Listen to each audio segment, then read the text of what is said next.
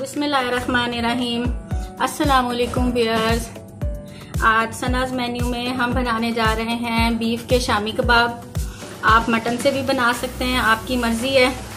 कुछ अर्सा पहले मैंने चिकन के शामी कबाब, जो फ्रोज़न फ़ूड वाले होते हैं, उनकी रेसिपी शेयर की थी।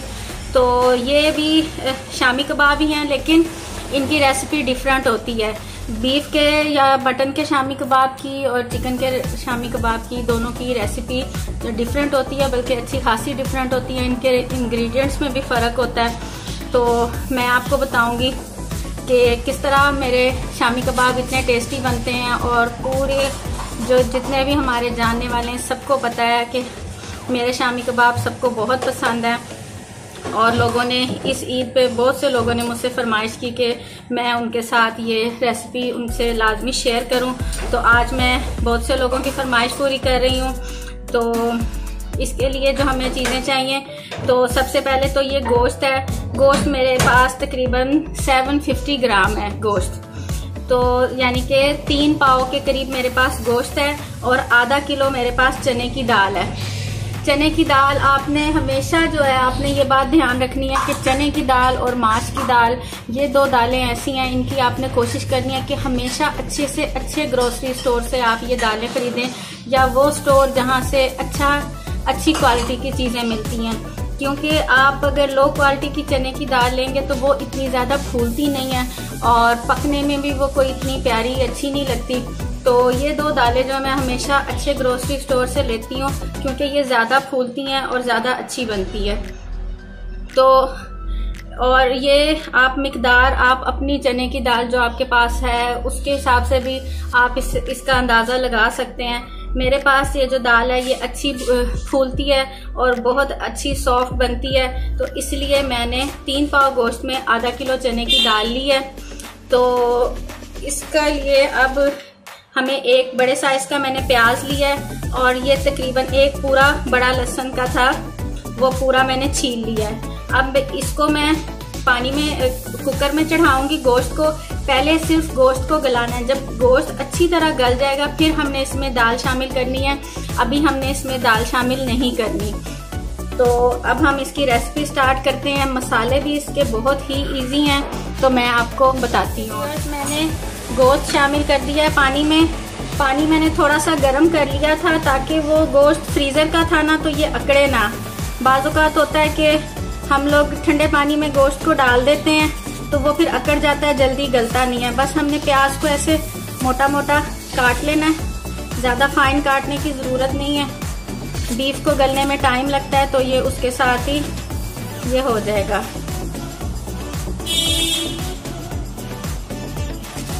बस मोटा मोटा प्याज हमने काट लिया लहसुन मैंने डाल दिया है। और ये कुटी लाल मिर्च है।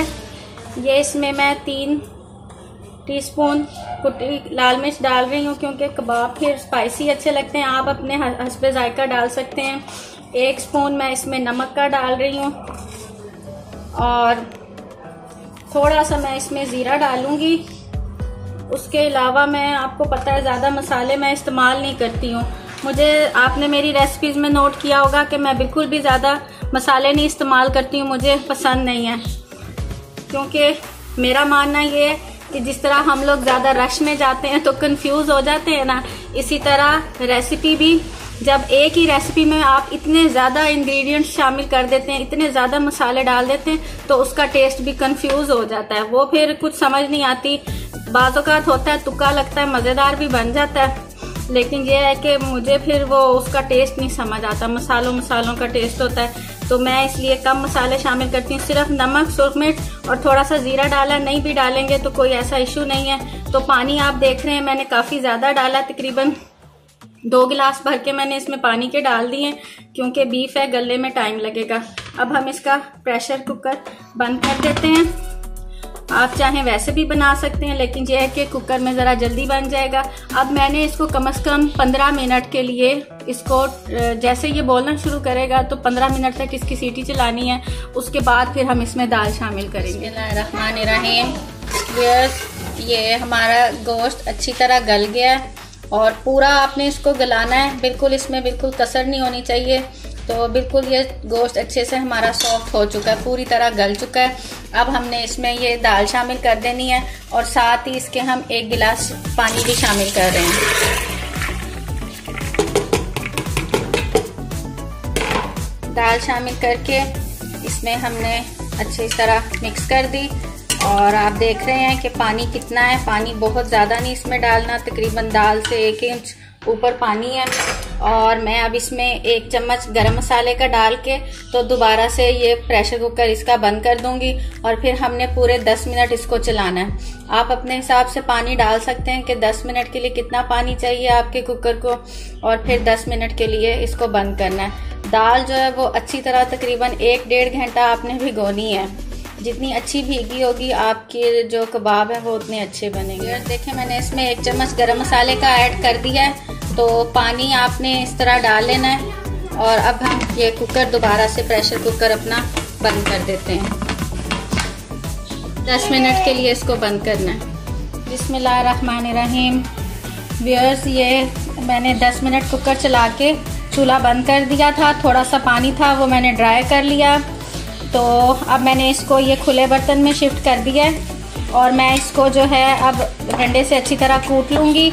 आपकी मर्ज़ी है, आपने सिल पे पीसना है, कुंडी में पीसना है, या किसी चॉपर वगैरह में पीसना है, आपकी मर्ज़ी है।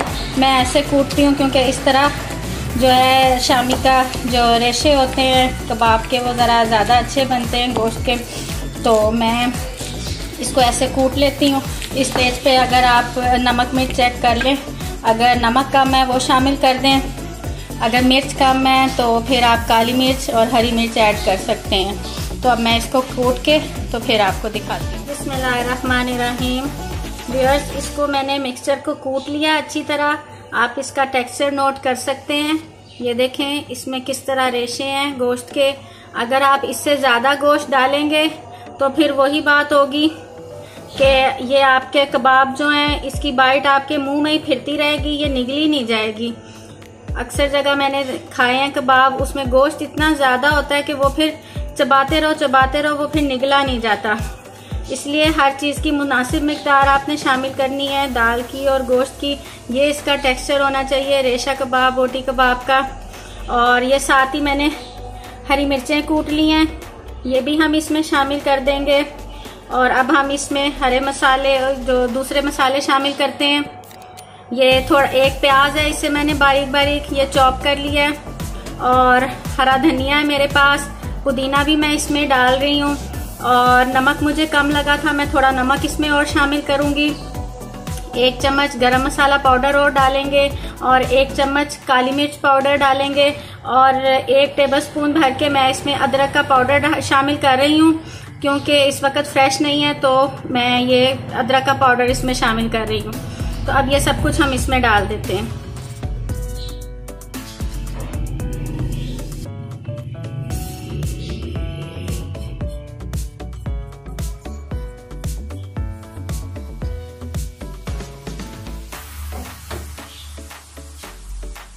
ये इसमें डाल देते हैं। साथ ही इसमें मैं थोड़ा सा पुदीना, खुश्क पुदीना शामिल कर देती हूँ। अभी क्योंकि ईद अभी अभी गुजरी है, अभी तक दुकानों पे सब्ज़ी फ्रेश नहीं आई है। जो ईद से पहले सामान मंगाया था वो ख़त्म हो चुका हुआ है तो धनिया पुदीना कहीं से मिल ही नहीं रहा है। तो मेरे पास वो पाउडर वो है, खुश्क पुदीना है तो वो मैं इसमें शामिल कर लेती हूँ। एक हाथ भर के मैंने इसमें ये पुदीना शामिल कर दिया है। इसको ज़्यादा आपने नहीं पीसना, बस हल्का हल्का आपने क्रश करके डाल देना ताकि ये इसका जो अंदर शामी कबाब दाल के अंदर जो मिक्सचर के अंदर जो मॉइस्चर है, उसकी वजह से ही जो हमारा ये पुदीना है ना, वो ऐसे ही हो जाएगा जैसे कि फ्रेश होता है। पता नहीं चलेगा कि ये फ्रेश है कि ड्राई किया हुआ है अपने इसको अब हम अच्छे से मिक्स करके तो इसके कबाब तैयार कर लेते हैं।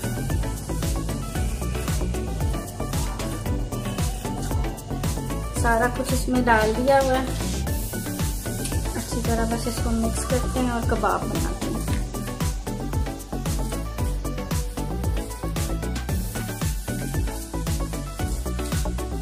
प्याज वगैरह, हरे मसाले आप इससे ज़्यादा भी शामिल कर सकते हैं, लेकिन उसी सूरत में जब आपने इसको फौरी तौर पे खाना हो।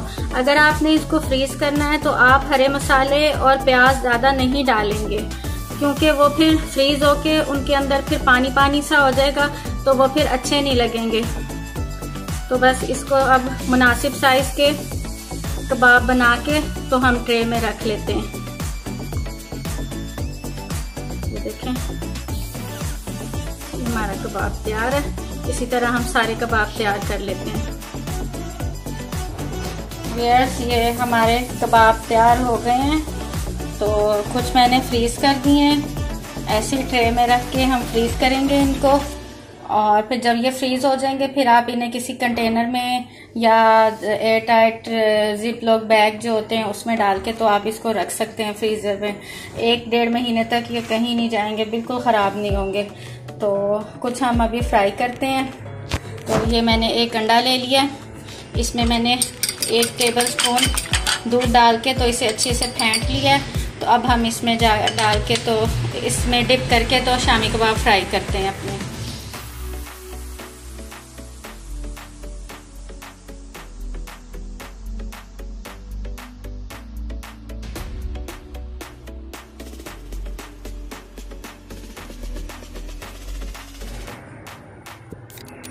बिस्मिल्लाहिर्रहमानिर्रहीम। व्यर्स ये देखें, हमारे शामी कबाब तैयार हैं। बहुत ही मज़े के बने हैं और बहुत ही प्यारी इनकी लुक है और टेस्ट वाइज भी बहुत अच्छे हैं, मैंने टेस्ट किया है। तो अब मैं आपको ये तोड़ के दिखाती हूँ। ये देखें व्यर्स ये देखें। हमने हालाँकि दाल ज़्यादा डाली है, फिर भी देखें इसमें रेशे ठीक बने हैं। तो ये खाने में भी इजी हैं, मज़े के हैं। और बहुत ही अच्छी और बहुत ही आपने देखा आसान रेसिपी है, बहुत ही कम इंग्रेडिएंट्स में बनी है तो आप मेरी रेसिपी ज़रूर ट्राई करें। अगर आपको मेरी ये वीडियो पसंद आए, मेरे चैनल को सब्सक्राइब करें, मेरे वीडियो को लाइक करें और एक अच्छा सा कमेंट देना हरगिज़ मत भूलिएगा। दुआओं में याद रखिएगा कि अल्लाह ताला अपनी रहमत और अपना करम हम पे ऐसे ही बनाए रखे और हम मज़े मज़े की रेसिपीज़ लेके आपकी खिदमत में ऐसे ही हाजिर होते रहें। अल्लाह हाफिज़।